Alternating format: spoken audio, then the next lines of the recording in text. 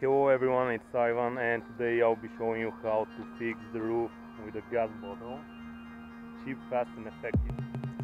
So let's go. Alright, the first thing that we need is a clean surface. Either it is concrete, wood or metal.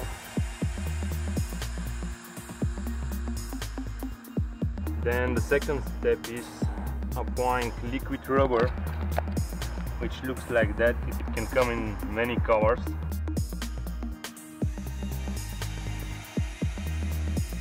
We have the surface clean, we apply the liquid rubber, we wait for it 24 hours to dry.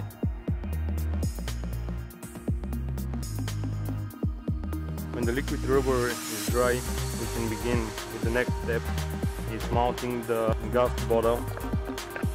So these are the components and I will show you how to use it safely. Okay, we have a gas bottle here. The connecting part, the pistol or the so-called handler.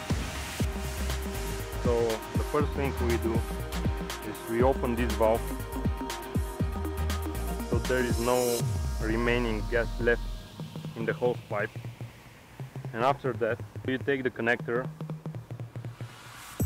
You push the plastic down like this for it to hold to attach to the bottom. Push the plastic insert it. Alright when you have the connector placed you open up the main valve. We check the pistol or the handler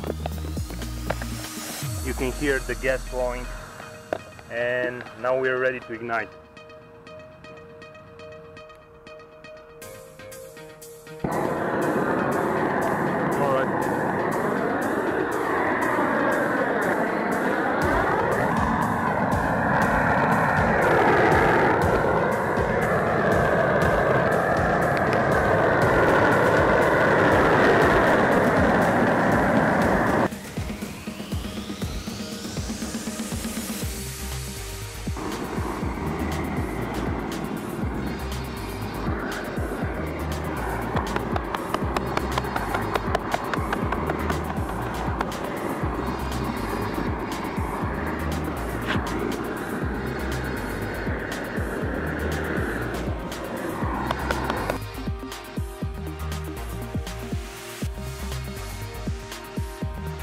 Remember guys, don't put the oil next to each other like they should overlap one another like that.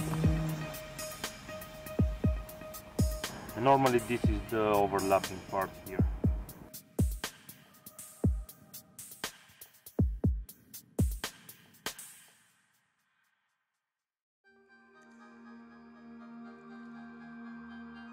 Alright, many people make mistakes by closing this valve here on the handler, on the pistol. But actually the right thing to do is, is to close it from the bottle, from the main valve. And then you wait. So first close it on the main valve here. You wait for it to finish here. And when it stops completely, you can take off the connector the same way we put it by pushing up the black plastic